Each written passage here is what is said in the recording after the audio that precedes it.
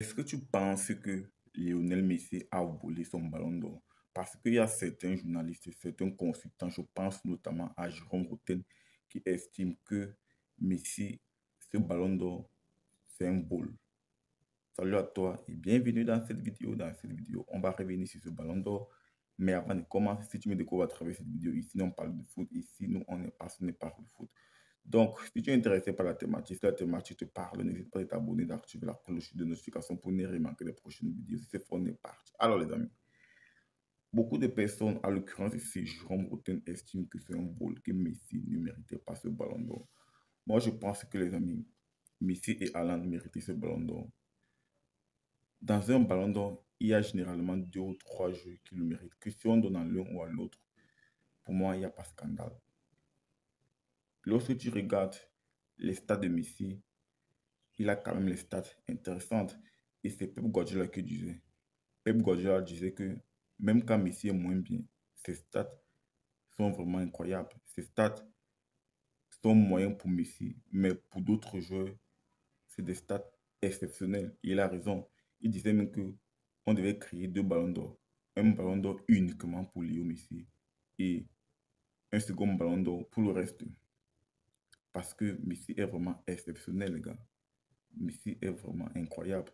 Donc, euh, moi, je pense que autant Erling Haaland mérite le ballon autant Messi le mérite aussi. Oui, Erling Haaland, il a des stats monstrueuses, des stats en nombre. Il a marqué 36 buts en Premier League.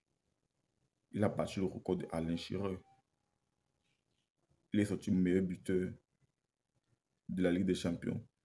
Il a remporté le championnat. Il a remporté la FA Cup. Il a remporté la Ligue des Champions, la première Ligue des Champions de Manchester City. Il a remporté derrière Messi qui a remporté la Coupe du Monde. Et je pense que les jurys ont plus regardé la Coupe du Monde que les autres compétitions. Je ne sais pas pourquoi, mais ça a été leur idée.